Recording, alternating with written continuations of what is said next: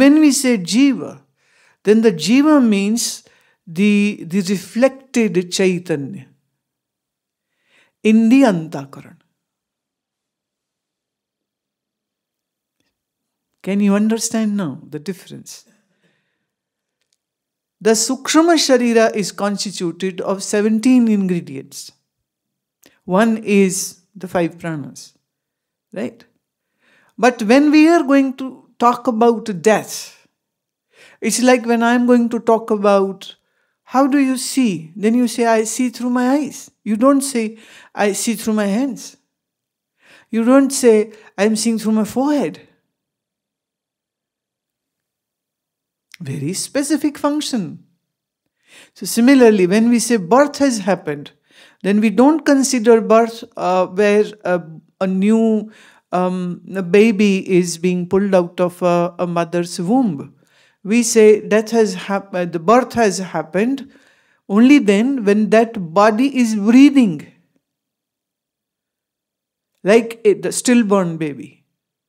It's a full fledged baby. But that baby is dead. And the dead baby was pulled out of that woman's body. So, can you say this woman gave birth to a baby? No, you would say it was a stillborn baby. It's already dead. There can be various reasons for, for that.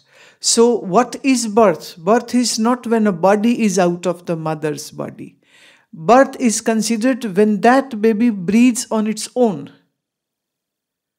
So that first breath when goes in, that is what a technically a birth can be considered as a birth. It's not about that body. So similarly, if I say what is death? So death will be when prana leaves the body. And our yogis have um, um, very beautifully, abundantly, they have uh, exhibited where they stopped the heartbeat, where they stopped the pulse, where they stopped the breathing, gave the time that for next 10 minutes this body will be dead. And if it is dead, then you have to sign the certificate. Swami Rama did it. Not once, but more than three times. And the panel of the doctors, seeing all the vitals not functioning, wrote the death certificate. And in 20 minutes, pulse is back, heart beating is back, EEGs are back, ECGs are back. And, and they said, What was that?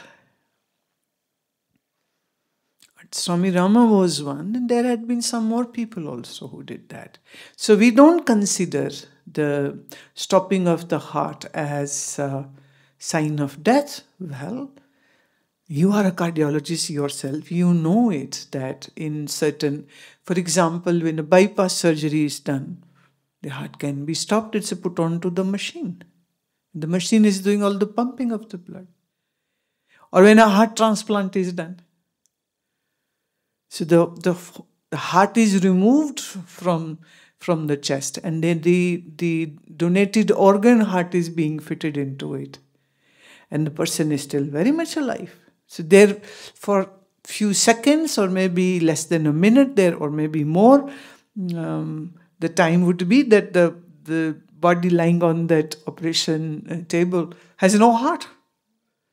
Right? But you won't say the person is dead. It's fantastic.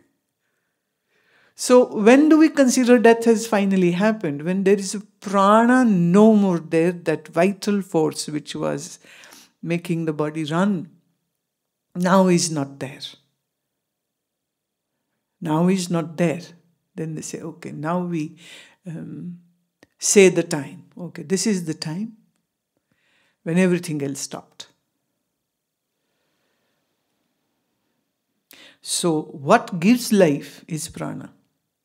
What is death? When prana moves out. But we can't say jiva moved out.